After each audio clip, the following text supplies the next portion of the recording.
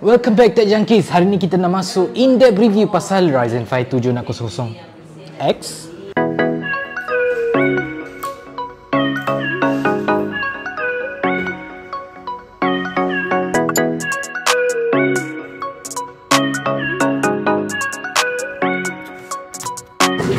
Set yang korang tengok ni dipasang bersama-sama dengan Gigabyte B650 Aorus Elite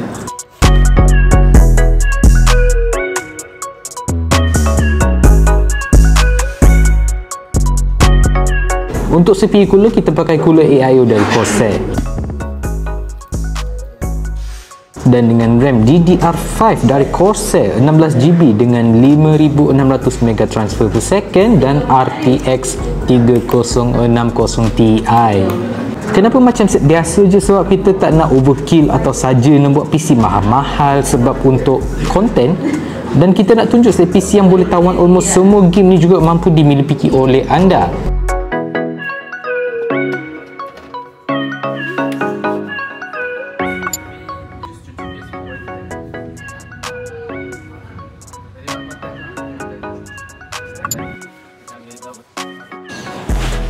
Seperti yang saya janjikan hari tu kita akan test, review, benchmark main dengan PC CPU tersebut.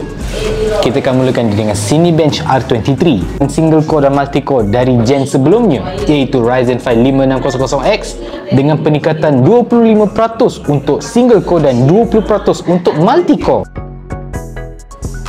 Baik, kita akan teruskan dengan gaming performance pula dari set ini dan untuk kira balik performance CPU ni pada ala gaming ni dia. Untuk benchmarking gaming kita akan mulakan dengan 3D Mark dengan score times pi dengan average 8880 untuk 7600X dan untuk gen sebelumnya 8221 dan untuk CPU performance physical dari Firestack pula kita dapat skor purata 28244 dibandingkan dengan gen sebelumnya 24642 dengan peningkatan almost 15% dan 8% di Time Spy dan Fire Strike.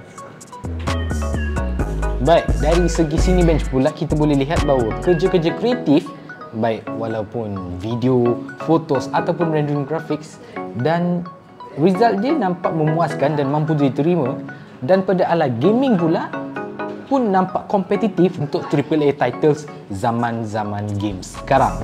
Tetapi semua tu taklah se-efektif mana kepada gaming di real life. Secara kopi, hujung minggu, peluk kenyang dan buka je GTA 5, Cyberpunk dan yang paling penting CSGO.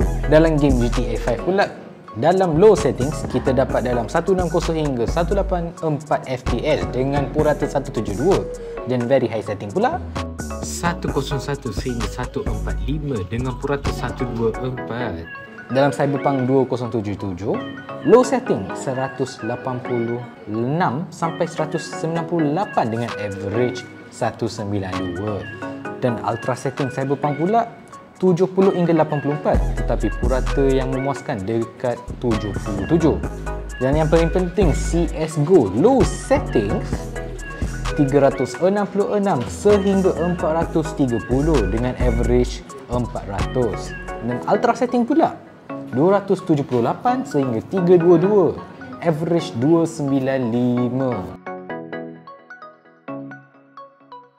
Baik, setakat itu saja untuk perkongsian dari Bedai Gaming kali ini untuk korang. Kita akan jumpa lagi di video akan datang. Ciao.